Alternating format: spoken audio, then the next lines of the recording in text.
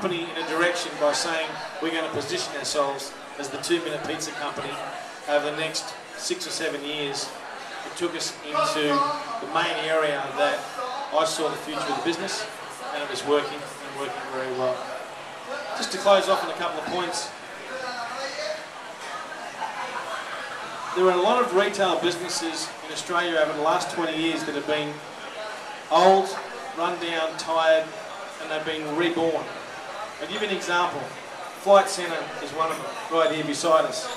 No one could make money out of the travel industry, and they came along and changed the way people thought about what they did with service, and in particular with um, the culture of their people. There are other businesses, uh, probably a good example is the coffee industry. It's not like we ever complained there wasn't enough coffee shops around 15 years ago, but now they're taking over and all the pubs are closing down because men used to drink in pubs after work and talk about things, and now we all have to go off and suck lattes with the ladies. That's the way we communicate. The $2 shop, that didn't exist 15 years ago. Now you go to the $2 shop, it's got everything you never needed. Fantastic. I go in there, I come up with a whole bag of shit I didn't even know existed. They're seeing the market differently to everybody else. And that was what we did with the pizza business.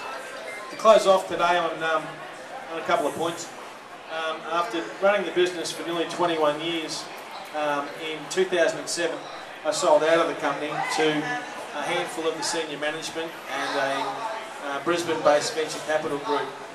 Uh, I was very lucky that I was surrounded by a board of directors of people who were close enough to me to be able to say, it's probably time you stepped down, took a break, relaxed, and um, enjoyed life a bit more. And I gotta say that the business was starting to get on top of me.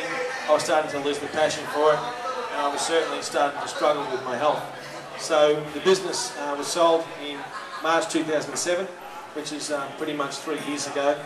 I retired for the next uh, two and a half years, and in the last six months, I've gone back into business. Uh, now building 24-hour a day drive-through bakeries here in Brisbane, and I'm sure you'll see some very soon. The company's name is Crusty Devil Bakehouse. Uh, we've built one at Carina, we're opening up another one over at um, Hill in the next few weeks, and um, I'm back in there having a bit of fun again. So I'll just close off with one really quick story. It's a good story to think about if you're going into business, right? Because it's a little bit about eating shit, but sometimes you've got to do that to get where you've got to go. And it's about a kid, and he's on his first day, and he's uh, 16 years old, and he's a door-to-door salesman. And he's really, really quite optimistic and happy about having his job and his first day. And everybody knows how difficult it is in sales and how many doors you can get slammed in your face. And He's in a small country town, it's the middle of winter, and he's walking up the road and he's got a vacuum cleaner over his shoulder. He's selling vacuum cleaners door to door. Very excited. As he's walking up the road, he looks across and he sees a sign, and it's a housing estate with new homes in the housing estate. And he thinks, oh, housing estate, new homes, new carpets, fantastic. I'll be in there selling vacuum cleaners like a demon. And as he's running up the road, down one side there's all these beautiful new homes, and on the other side is a cow paddock and an entrepreneurial light goes off in his head. So he drops the vacuum cleaner, jumps over the fence, grabs the chaff bucket, runs over to the cow paddock and starts filling up this, this chaff bucket with as much of that warm, green, slimy, wet, fly-blown cow shit he can get his hands on. Now he's really excited.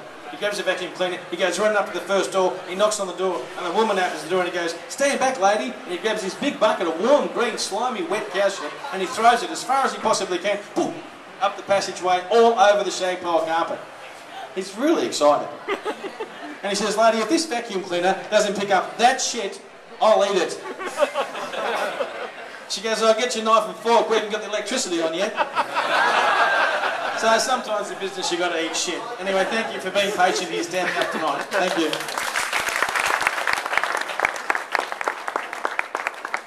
Probably just should mention one thing. I've, um, I bought a few copies of my book tonight, so if anybody's interested, um, I'm happy to sell you one and sign one for you.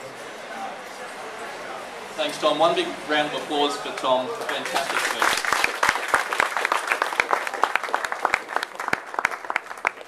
Before we let him go, uh, we'll open up the floor for a couple of questions for a few minutes. Um, and just before I lose the microphone, I'd just like to make a note on Tom's book. I actually read it a couple of months ago uh, before we tried to lock in Tom as a speaker, and it is an absolutely fantastic read. Um, it's got all those bits in it that Tom mentioned, but also the really funny little details in between. So have a look at it. Uh, Are they on sale tonight? Yeah. They're on sale tonight, so come and have a look. Uh, but for now, Nick's got a, a microphone there. Put your hand in the air if you'd like to ask Tom a question, please. Hello. Um, thanks very much, Tom. Really, really enjoyed the, the presentation. Uh, a question that I had was, in light of over the last five years or so, the, um, the situation in terms of obesity in Australia, and uh, the uh, obviously you hear about like cases such as McDonald's changing their orders, being sued in the US, etc. Like, did that come from left field for you guys, and how did you sort of respond to that, and has it really impacted your business here? Yeah, I didn't respond to it. Next question. no, seriously, I didn't respond to it. I mean, as far as I was concerned, it's a choice. If you want to drink, if you want to smoke, if you want to eat greasy food, that's your choice. And I really went with that road. And, and um, you know, for pizza companies constantly going out there telling everybody that this is healthy and that's healthy, believe me, it's about 1% of the sales, maybe 5% during a promotion. I mean, it's got to be believable. And um, I, I was never, I mean, it's really interesting being in the bakery industry. I'm standing there behind the counter and I'm seeing these young women come in and they order cream buns and vanilla slices and sausage rolls, and this is at 7 o'clock in the morning. And I got to tell you, you just don't hear people coming in there saying, oh, you know, what have you got healthy? It's a bakery lady, what do you think? You know, so, yeah, I, I was always realistic about the business I was in. Yeah.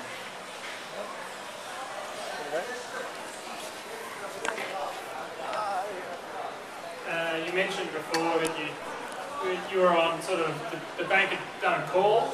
You know, you were about to go about to go bankrupt, um, but yet you, you flew down to Sydney and won your award. You didn't quite explain how you got out of the bank during the call. Yeah, sure. That's a good question. I look, I went back to the banks.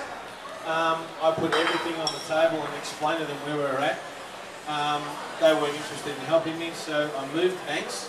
But the beauty of it was I was extremely honest about the situation that I was in, and uh, I traded my way out of it. So I, I, you know, I think you, you try and bullshit banks, they- they're going to catch you. So uh, you know, it's um, is there any bankers here tonight? They sneak in with the humans. Houdini. He's like a magician. He just bullshitted the banks for like 30 years. Question over here from this lady. I have a question. You mentioned that um, going to Harvard University changed your life and that um, you know you did great things here. Do you wish that you had gone to university earlier and earlier and done some business training? Yeah, quite, quite possibly. Um, look, it's a really hard question to answer because I probably wouldn't have been in the pizza business at 23 if I hadn't gone to university. You know, so I've got no regrets um, along the way as far as that goes.